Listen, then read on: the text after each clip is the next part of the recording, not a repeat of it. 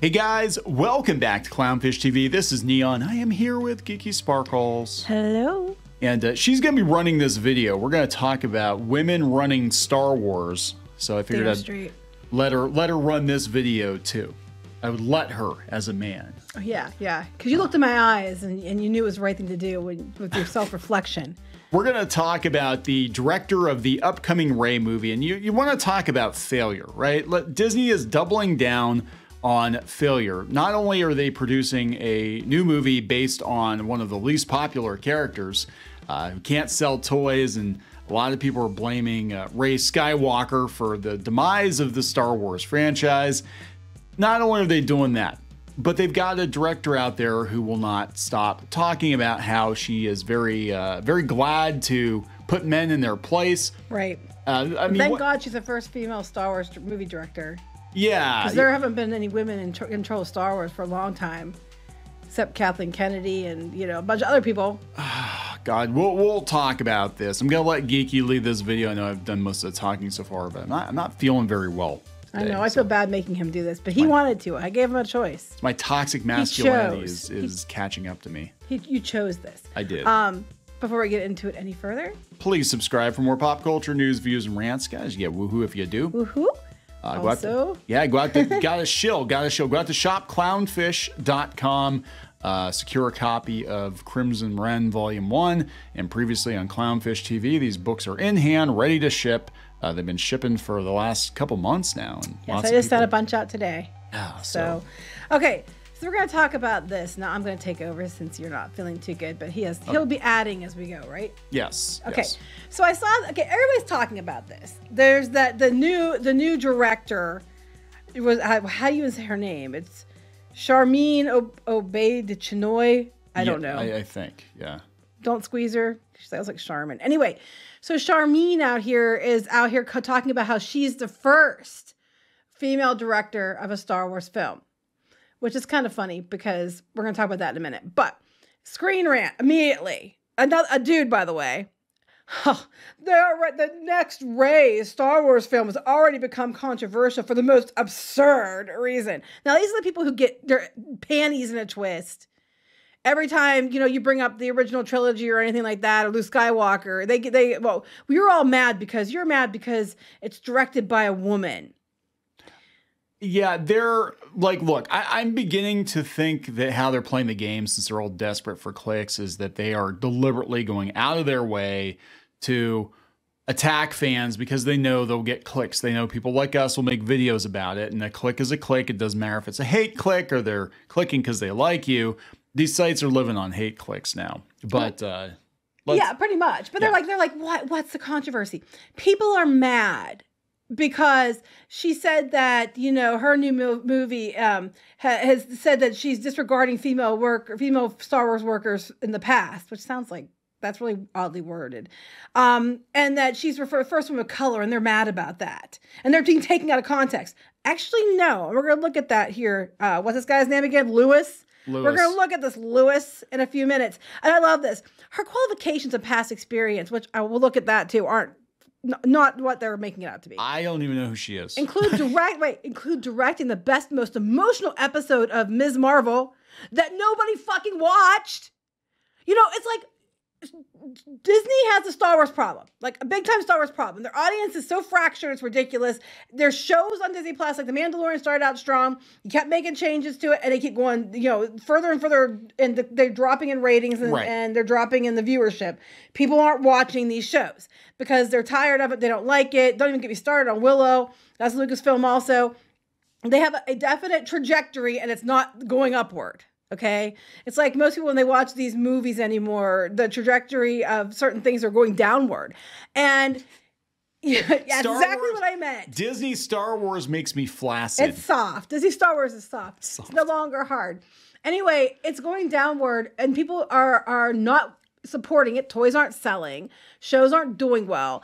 Disney has, you know, all these different groups trying to get seats on their board because the company is in trouble. And part of it's their mismanagement of classic and, you know, high end IP that they used to have, which like Star Wars used to. You put a good movie out, and people would be there, you know, in droves. Good put- being the caveat. If you put bad ones out, they would still be there until they, you know, they too realized it was bad. yeah. Then a week later, it fell off a cliff, uh, like Last Jedi. But um, you know, they've got a problem with Star Wars, and so their answer is to put this person in charge. And the first thing she does is go out there and stir up shit.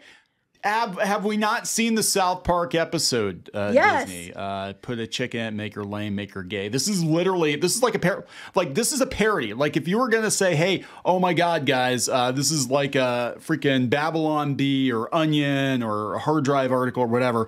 Like Disney decides to put a uh, uh, and literal.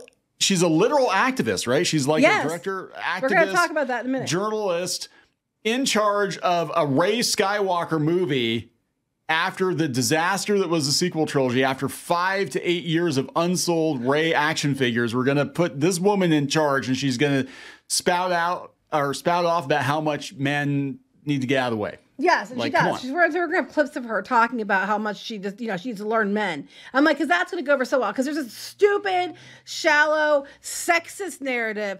This sexist narrative that only men ever liked Star Wars, that women were never included in Star Wars until recent years, which is not true on so many levels. They keep spinning and doubling down on this. Then they have to trip over themselves with their double standards and double talk, which we're going to talk about in a minute here too. Um, but before we get into this other part, we're gonna we're gonna we're gonna look at what she said. They're like, oh no, it's it's, not, it's disingenuous because that's not what she said. so they're here talking about her movie, Yeah. and they said that people are mad because uh, she talked about the, the the announcement of her Rey Skywalker film, and no one wants another Rey Skywalker film. And they said people are mad because it, it, they are saying that disregards the women who previously worked in the Star Wars franchise, and they're saying they're taking it wildly out of context what she said, but they aren't because I'm going to show you. It came from a comment she had on CNN. And actually, it was the reporter on CNN who made the comment about person of color to direct the Star Wars film. The, the argument in this thing is saying that she's not saying she's the first woman, she's just the first woman of color. That's Yeah. what they're, they're trying to argue. So it's disingenuous. She never says that. This person says that. So we're going to listen to this clip and uh, take a look at it here. She's also the first woman and the first person of color to direct a Star Wars film. It's set to be released in 2026. You can So she says it, okay. Okay. But then she gets to the um when you get actually to the to, to the person in question, and they start talking the to her. person in question. Sharmino Bechenoy. Chanina Beach. So here's what she says. You know, I'm very thrilled about the project because I think um, what we are about to create is something very special. I want to point out there's Headland. Uh-huh. There she is. And there's Kathleen Kennedy. There's three women right there. And who's at the right And hand? Who's at the right hand of Kathleen Kennedy?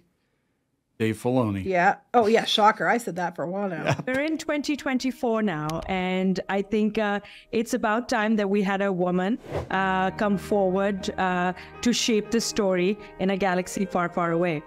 So she said woman. She never said woman of color. She No. said woman. It was the the CNN anchor who said woman of color. The director herself did say it's about time we had a woman shape the Star Wars story. Except we've had women shaping the Star Wars story for years. Currently, Kathleen Kennedy is in charge at Lucasfilm. Love her or hate her. Mostly people hate her. Can't understand what the hell she's got on the you know, Bob Iger and the board that they won't fire her ass. But the, it's completely run by a woman. Yeah, and it's it's very obvious that it is because uh, you know people were like, okay, we get it with Rey and the and look, wh- whatever, right? But uh, we get it with Rey and the uh, the Force Awakens, but then right after that we had Rogue One. We're like, and it's another woman, and we've got Disney Plus shows, and even the Disney Plus shows that are supposed to be about the men are actually about the women. Well, I was What's going to bring this up because right now Variety's like Daisy Ridley is a new Star Wars director. It's about time we had a female filmmaker come forward and shape a galaxy far, far away. Yay! And they talk about this woman, how she's gonna, she's gonna. It's all been men. How dare he? And, and- but we had we had Deborah Chow in the shows, but not for films, right? This is Variety. right That was that was uh yesterday. yesterday. This is Variety from 2019. Meet Victoria Mahoney, the first woman to direct a Star Wars film. She was a woman of color. She's the first black woman to direct a Star Wars film. And how come they're not talking about her? What'd she She's do? the she second did unit director. She off. wasn't the first. She was a second unit director. So she But was still. a director. So we have already had a director that is a woman of color on Star Wars films. We've had several directors on Star Wars films that were women of color, or that were just women in general. So we had first woman, a black woman to do so. We have other women behind the camera that were directors of Star Wars. We have um, female directors in the galaxy far, far away, and they're talking about different people. And it's talking about Bryce Dallas Howard. Yeah, Now, grant yeah. this is a TV show. It's, it was on The Mandalorian. Um, and then oh we talked God, about her. They talked about Gina Carano. I know, right? Oh my God. And then they had, you know, Deborah Chow, Deborah who, Chow, yeah. who worked on Mandalorian and also did, I think, Obi Wan Yeah. and stuff like that. So they were both working on the shows, which I would argue are longer, way longer than a movie. There's several episodes, and they end up being longer than a film. But they've had these women on before. But the whole idea that we've never had a woman working on as a director, and Variety's like, oh my God, guys, it's amazing. It's all been men. Variety also said, hey, hot damn, we had the first female black woman to direct Star Wars film in 2019. Well, they memory quickly you, her. Yeah. Well, how quickly you forget they don't mention her in this new Yeah, article. yeah. They don't. They just mention all the men. But then you guys were touting the win in 2019 about how you had the first female black director on a Star Wars film. Oh, those white, those chuds, they're going to be so angry that there's a black woman touching their Star Wars. Uh, I know, and, and and then they completely overstepped. Now, granted, she was an editor; she wasn't, but she shaped Star Wars. Was Marcia Lucas, who everybody ten, tends to forget. yeah, everybody forgets Marcia Lucas. Marcia Lucas was uh, George's first wife, and uh, she was responsible, as I understand it, many others understand it, for salvaging Star Wars because the first cut of Star Wars was a slog. It was not good. Um, it would have probably been a, a box office bomb, but she came in and she tightened it up, and she was kind of uncredited. Uh, and then I don't know when they split up or whatever, but she kind of disappeared out of the public eye. 83, it said. Yeah. Well, here it even said in here this article from Collider, okay, that she won an Oscar. But they said, however, to reduce Marshall Lucas's role in Star Wars universe like this feels wrong because I guess they said she was part of a trio and all this other stuff. They said in reality, she is the one of the she's one of the main people all fans should thank for the sheer Yeah. existence of Star Wars as we know and, and love. Yeah, but women, yeah. women had nothing to do with Star Wars until current year. till current year. And thank God this other chick showing up to finally to be be a director or be to shape to shape Star Wars because no other women have ever. None of the women who wrote all the books, worked on the games, you know, worked on the Lucasfilm Story Group. None of those other women ever have had you know have shaped Star Wars like she's going to shape Star Wars. And then you're like, well, who is this this woman?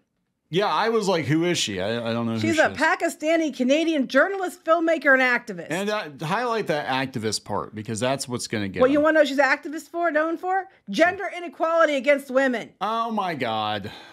Oh god. This okay, so this literally is the worst case scenario for Disney says they're going to walk back these bad choices and they're trying to go pivot back to profit. They're trying to save the company. But you put this person in charge of a movie, and it would be okay. I wouldn't think anybody would care if they're, you know, so much. If it wasn't, in fact, she's out there actively, actively trying to stir up shit like this little clip. Are you ready for this one? Yep, do we got the audio on? I believe so. Here we go. of activating a force for change, but also trying to permeate that patriarchy, that power. Patriarch? Permeate the patriarchy. Come on, Jon Stewart. I know you're smarter. That he's he. Jon Stewart says stuff to make sure he doesn't get canceled because he's an older white dude. He That's what- talks. or structure. And is that a part of the calculation of your art as well? And Blah, blah, blah. Hold on. So here we're going to see. to that. Oh, absolutely. Um, I like to make men uncomfortable. Right. So let's put let's put this person in charge of the next Star Wars movie with Rey, who people don't like anyway. They don't like Rey. They don't like the direction of Disney Star Wars. Let, I mean, this is this isn't even doubling down. This is just suicide. This is stupid. This you is, know?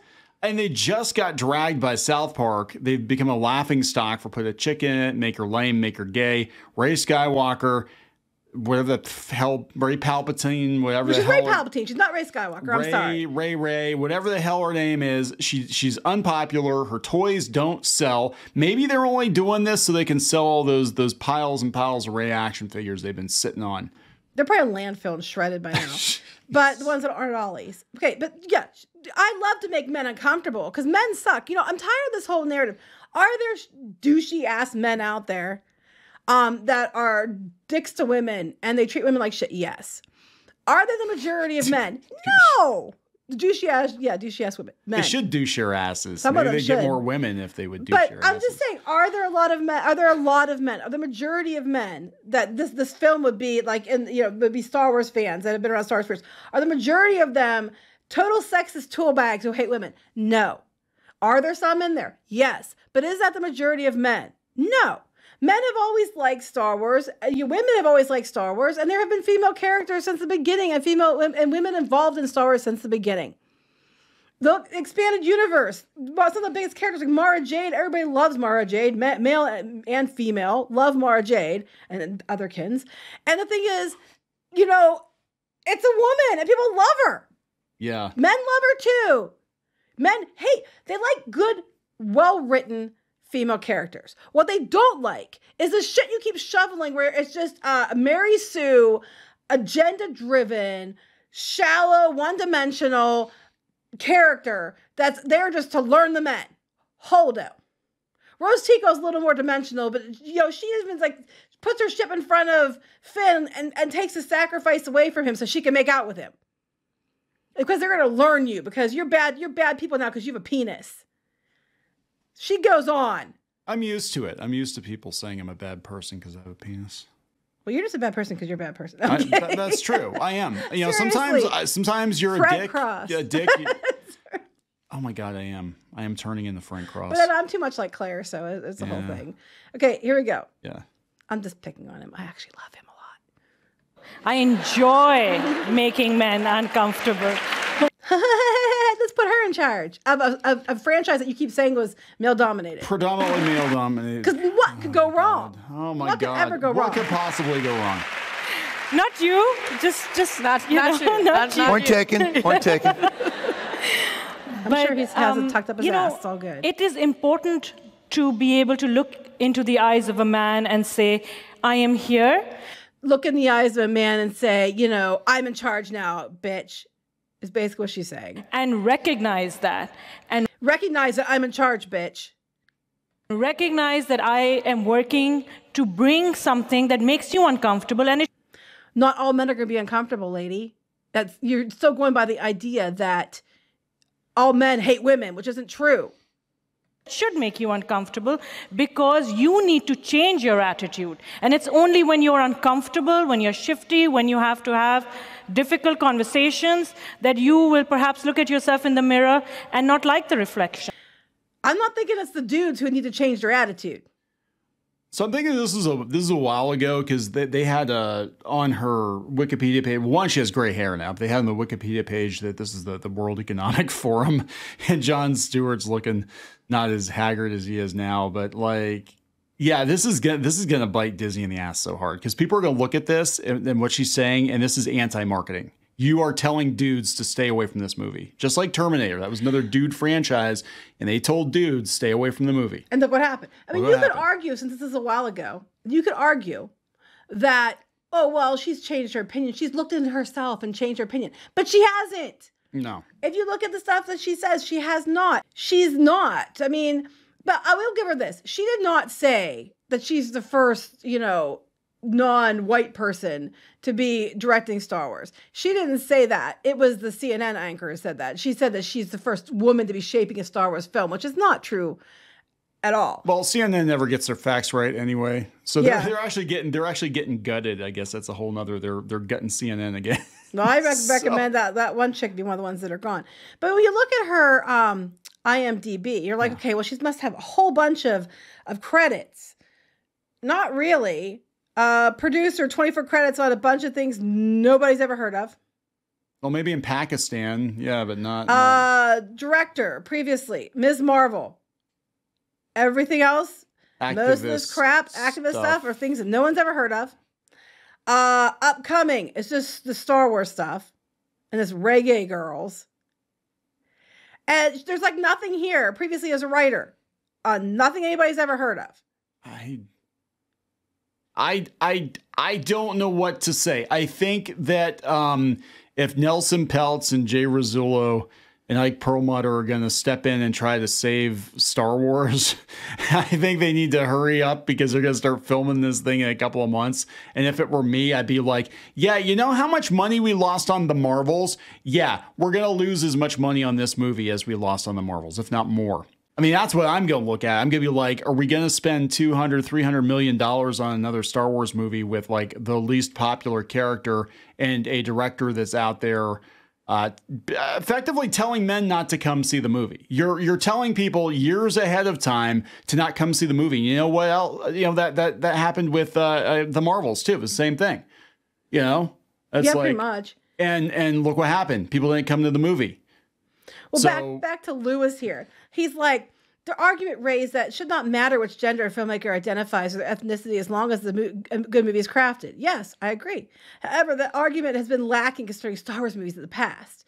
Well, no, it's not. If you said it doesn't matter what gender or that they are, if they have a good movie, then that is not lacking. It's because yeah. you're mad because you want you think women should be in charge, but women have been in charge.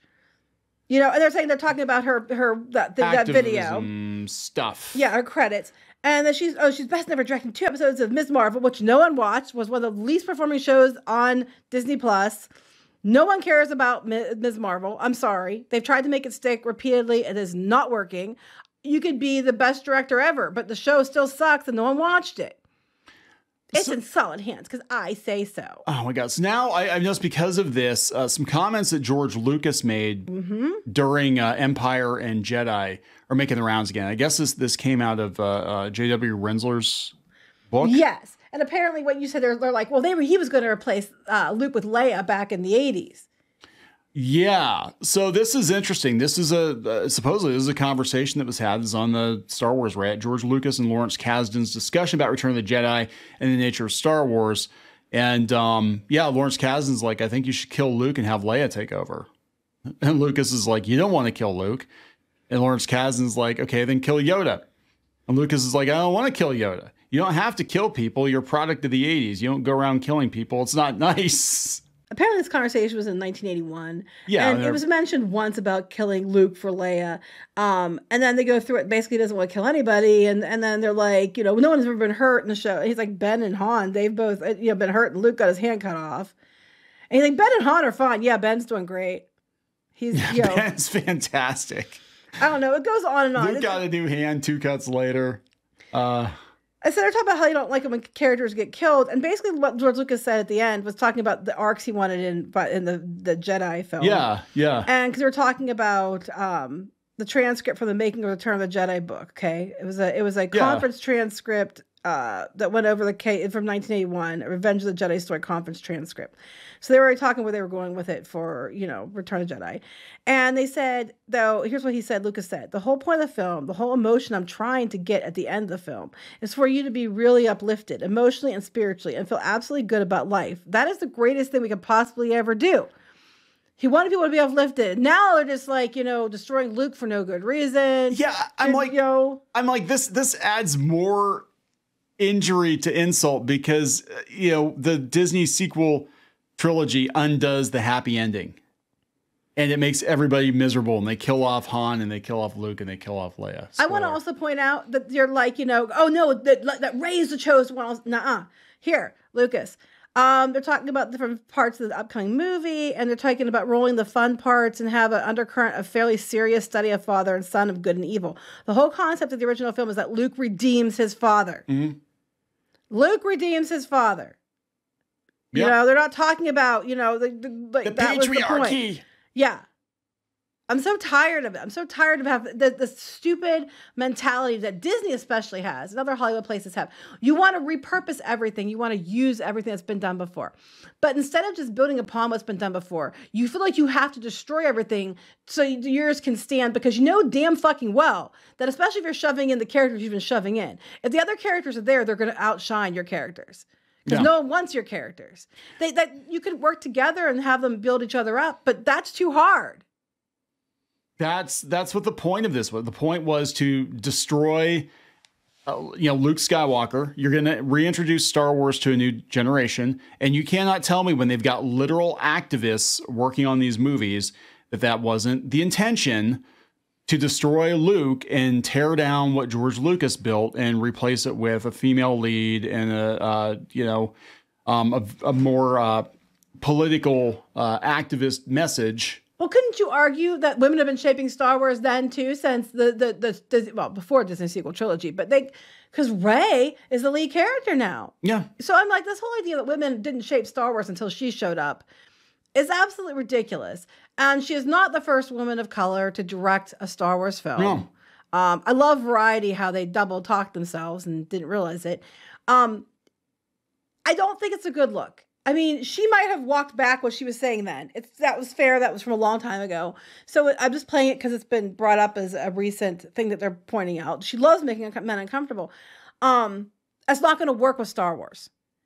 You're No. going to have to find a way to, to to if you you're going to to find a way to appeal to the whole audience, not just the ones with tits. There you go. And a lot of the ones with tits like male characters.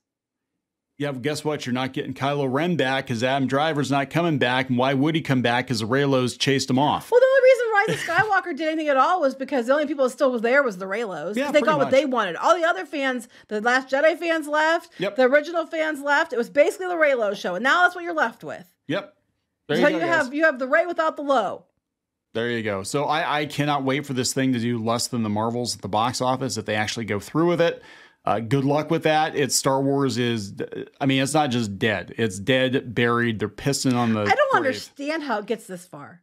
Like like you said, it's like you're deliberately trying to to, to destroy it at this point. Because they're letting Kathleen Kennedy run amok, and there's nobody that has the balls at Disney, male or otherwise, to tell her to knock this shit off. I'll tell her to knock the shit off. Kathleen Kennedy, fucking knock the shit off.